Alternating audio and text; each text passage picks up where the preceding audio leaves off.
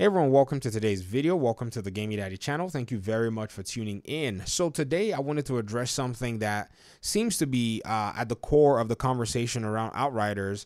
And I want this conversation to be constructive because I believe that there might be a solution here somewhere to allow for this game to thrive more and better serve the community out there. So what I'm going to mention in this video is something that I've realized from just a little bit of research is not popular, but I believe it does have some level of relief to provide for the game in its current state. So if you look at the Outriders game right now from Metacritic and you look at Steam reviews, you're going to find out that Outriders is sitting at a just a very, you know, um, I would say sharp 60% favorability margin. Uh, on Steam, there are close to 9,000 reviews. About 6,000 of them, as the time I'm recording this video, are positive, and about 3,000 of them are negative. So I said about 3,000, 3,800. So approaching the 4,000 mark. So it, the reviews are kind of still growing. So the numbers are all over the place. If you notice, my math is a little off, but the reviews are going to be approaching about 10,000 perhaps in the next few hours. And I think that 60 40% is going to show up. Even on Metacritic, you're looking at a 6.0, 6.1 average on the consoles and PC. So again, it still iterates that the 60% favorability is where Outriders stands as of now. Now, what is holding this game back to enter that 70% favorability, in my opinion, and from reading these reviews, uh, you know, extensively, is the connectivity issues. There are a few people who say, you know, the game does not seem to suit them. Some people have said they don't believe the product is for them. Some have said it's a little repetitive, but when you actually kind of uh, you know accumulate those concerns they don't necessarily uh, even match up to those who are saying the connectivity issues are bothering their gameplay experience. And i think this is as a result of perhaps they don't you know necessarily understand what the landscape is like launching a game that's going to be co-op. I don't even think they understand their projections or projected sale possibilities with this game. If anybody you know has been paying attention to gaming this is a game release drought. So Outriders is going to basically sell and thrive and enjoy this season, even in the coming months. There are people who are just waiting for the game to just drop a little bit in price and they're going to enter. They don't want to pay the $60 price tag because of the connectivity issues. They're just sitting there waiting. Once the game goes a little bit on sale, they're jumping in, they're getting in. So you're going to be seeing new players on an influx for the next few months until another major release of this nature, which, if you look on the calendar, there doesn't seem to be a lot that carries what this game is carrying. Now, I'm also talking about this video because I believe that within these connectivity issues that are causing players a lot of concern, there is one thing that can be done to resolve this issue and even for the, you know, future not allow for this to actually crop up. So that is a, me- uh, uh, a, mechanic that a lot of players don't like, which is if you are inactive for a specific amount of time, you get kicked out of the server. Now, this sounds crazy because on looking online, I've seen that people do not necessarily are not necessarily sorry fond of this mechanic because somebody wants to go and eat a snack real quick. The snack can take maybe longer than five minutes, and then they come back and they're kicked out. They're like, "What the heck?" Well, ideally the reason a lot of these studios do this is to you know prevent the servers from being overcrowded.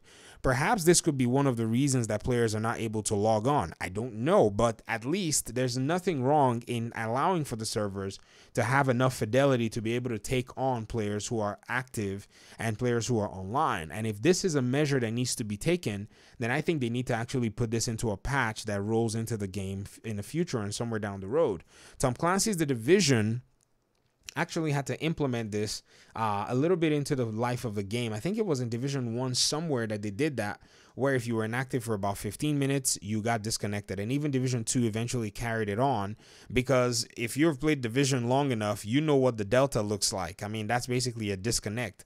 There are many things that causes, you know, disconnects. I mean, for those of us who play in the division, we've seen all kinds of different uh, you know, foxtrots and echoes and all kinds of different notifications of disconnects which are subject to pretty much different uh, circumstances kicking you out of the game. But I think in the case of Outriders, the developers need to prioritize something like this in order for the game to continue to run at fidelity. In fact, this particular clip is a clip of me finishing that mission where you go and rescue, uh, you know, Jacob. And I finished it. I put the game down. I was still recording. I went on my PC account. I played the beginning mission of PC on the demo, and my player was still standing here, and I had not input any single thing in the controller. This clip spans for at least another 30 plus minutes where I'm just standing in the server and not doing anything. I don't think that this is a healthy way for them to run their servers. I understand they want to serve the community, and I understand that there are community members who may say, well, it doesn't really mean anything. They just need to get more server space. But then at the same time, that may not necessarily be a good use of resources overall. Why spend the extra, you know, uh, I would say my why why exercise the resources for something that is as simple as just logging back in if perhaps that's going to work then i believe it's a sacrifice worth making because if you maybe if this whatever it is i'm proposing works then at least you have better servers that you can log back into at any time that you want. Another thing that I found out today was I was trying to matchmake open groups, and there were people that I matchmade with that were literally just standing here in their base of operations, not doing anything, not even moving. They were just, they probably left their matchmaking on and walked away and just forgot that it was on and maybe are engaged in all kinds of other things. Those of you who are gamers, you know the landscape, you know what it's like. Many of you are parents, many of you have engagements that you're in between while you're playing video games. And so, yes, I definitely understand that sometimes something can take you away from, uh, you know, what you're doing, but, you know, it is what it is. Uh, if that's something that's going to overall serve the game, why not, you know, as a community say, sure, it might be something the devs might do. At the end of the day, it might be something that, you know, doesn't necessarily work out. But, you know, what do I know? I only know systems that have used this and have at least found some success in doing this.